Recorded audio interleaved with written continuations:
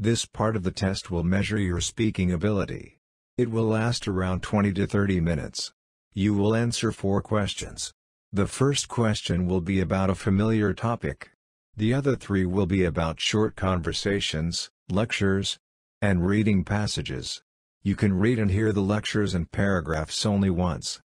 You will see the time available for preparing the responses as well as the time to give your response on the bottom side of the screen. You have to stay within those time limits.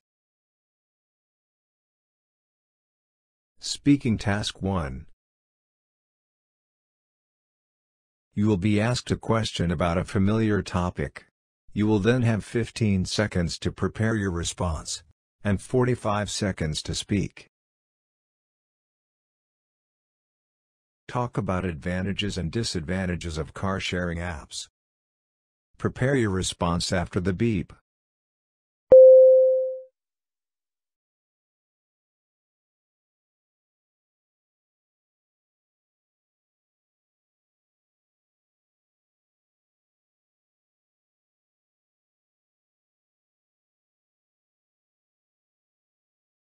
Start speaking after the beep. I would say that the car sharing apps are uh, more advantageous rather than disadvantageous. I would say that they are uh, convenient and cheap. Uh, I used a car sharing app called BlaBlaCar. Um, uh, when I lived in Amsterdam, I used it to get to Brussels, and it was cheaper and more comfortable to, to, to use it, to do it like that. Uh, rather than taking a bus or a train. But uh, the disadvantage of this is that it hurts local business. Basically, I used this uh, car sharing app instead of uh, giving the money to a transportation agency, to a, uh, company that runs buses or that runs trains. Speaking Task 2 you will read a short paragraph and then listen to a conversation between two people. You will have 50 seconds to read the paragraph. After, you will get a question about what you read and heard. You will have 30 seconds to prepare your response and then 60 seconds to give it. You have 50 seconds to read. Start reading after the beep.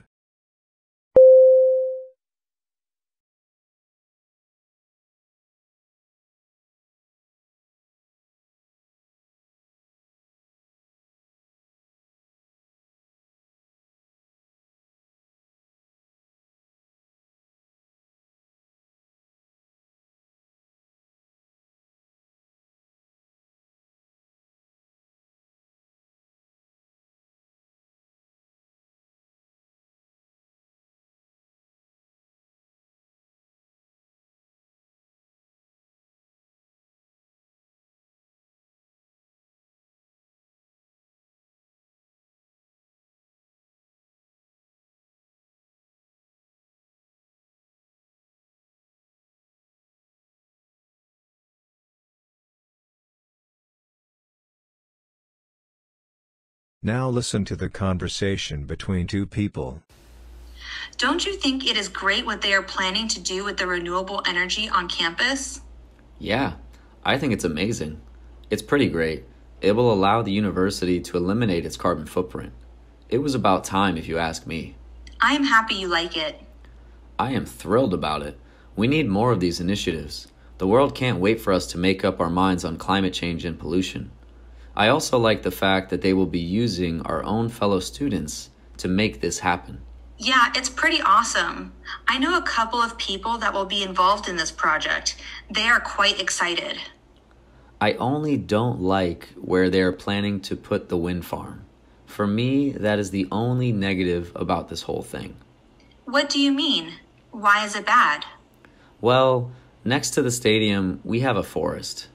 It is a habitat for wild species of animals. It is quite amazing to walk through it. Oh, I didn't know that. It is not a good place to put the wind farm. I think it will be better to put it on the other side of campus. I really don't know why they chose this location. It will disrupt the ecosystem of that place.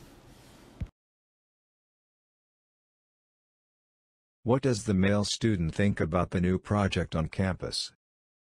Prepare your response after the beep.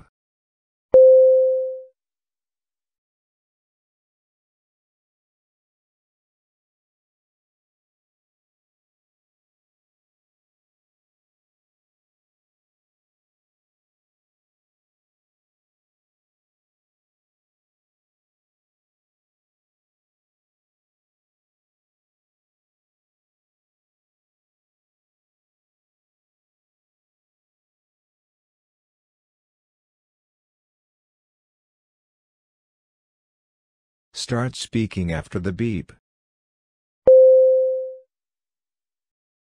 He thinks it's a good idea because it will eliminate the university's carbon footprint.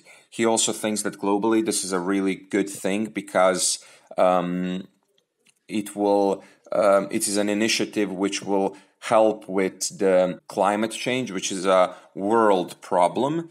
Uh, he also likes that they will be using uh, fellow students to complete uh, this project. But what he doesn't like is where the wind farm is going to be placed. Now, um, where the fin- where the wind farm is supposed to be, uh, there's a forest there right now, and placing the wind farm there will severely disrupt the local ecosystem. So he thinks that this is um, are, are re- he thinks that uh, it would be better for the wind farm to be placed somewhere else.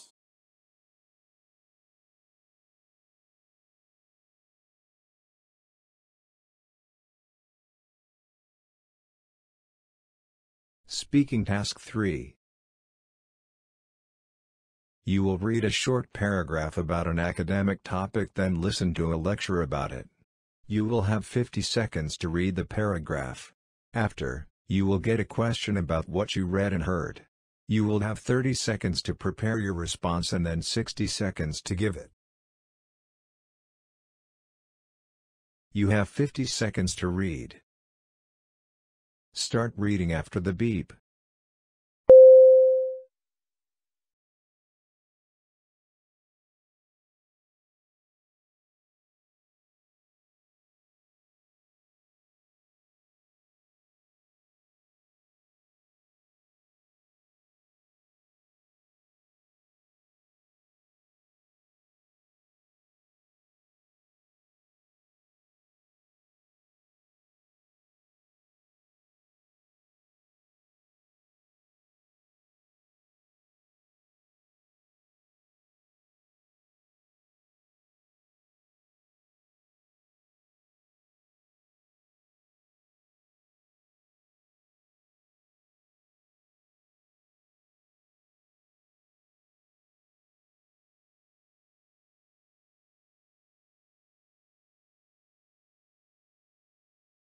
Now listen to the lecture. In this lecture, we will be discussing two types of organizational structures. One of them is called the functional organization, and the other one is the flat organization. The functional organization is a classical organizational structure where the employees are grouped hierarchically, managed through clear lines of authority, and report ultimately to the one person who is on top. This is basically what we think about when we talk about companies where we have a CEO on top with the top management underneath him or her, who then pass down the orders onto the middle management and then on to low management. This style is more suited for middle sized and big companies. It helps them organize better the different departments they might have. The flat organization is the complete opposite to this. In a flat organization, we have the leaders interacting with ordinary workers who are on the front lines, who work with customers and suppliers. Here, we don't have the middle management. The top directly communicates with the bottom. This is really good for making quick and effective decisions. This organizational style unlike the previous ones, is much more suited for small business. Describe the two different types of organizational structures that the professor talks about. Include points and examples from the lecture. Prepare your response after the beep.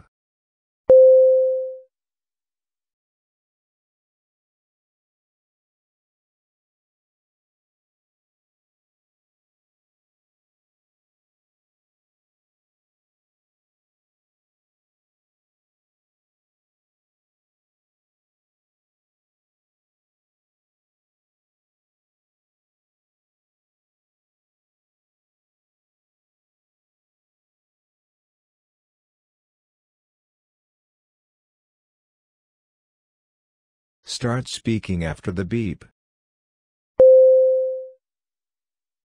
The professor talks about the functional organization and the flat organization. Now, the functional organization is pretty much the traditional type of the organizational structure. Basically, we have the CEO at the top, and then we have the hierarchy beneath him, you know, the middle and the low management. And uh, this form of organizational structure is uh, suited, is well suited for uh, middle companies and uh, big companies. Now, the other type of organization is the flat organization, Basically, here the owner of the company or the CEO interacts directly with his or her workers, and there is no there is nobody basically in the middle. And uh, this is a really a flexible uh, organizational structure, and it's really well suited for uh, small businesses. It makes the small business flexible, and it helps them make quick and effective decisions. You will listen to a lecture about an academic topic. After, you will get a question about what you heard. You will have 20 seconds to prepare your response and then 60 seconds to give it. Now listen to the lecture. The immune system is what our body uses to defend itself. It protects you against foreign microorganisms as well as cells of your own body that go rogue and can become cancerous. There are two types of defenses that your body has. One of them are the non-specific defenses that protect you against a wide range of potential attacks. And we have the specific defenses, which are cells who work against a very particular cell or disease. We would use your skin as the best example of a non-specific defense barrier. Basically, your skin is there to prevent any unwanted intruder from getting into your body. Your skin has many mechanisms that does this. Inflammation is one such mechanism. It floods the point of intrusion with fluids and chemicals to prevent further problems. Another barrier that prevents unwanted visitors can be found in the stomach.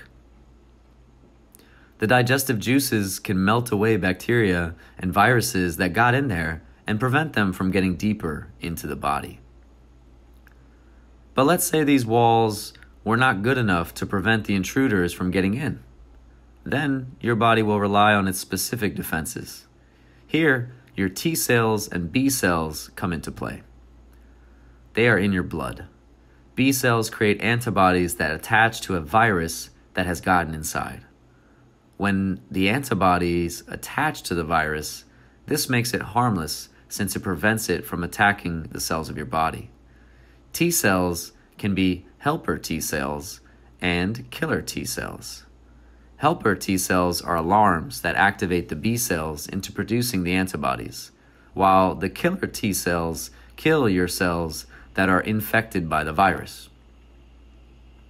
The reason why we say that T and B cells are part of the specific defenses is because they are connected to a specific virus.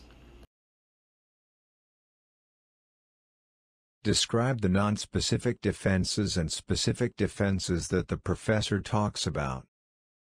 Prepare your response after the beep.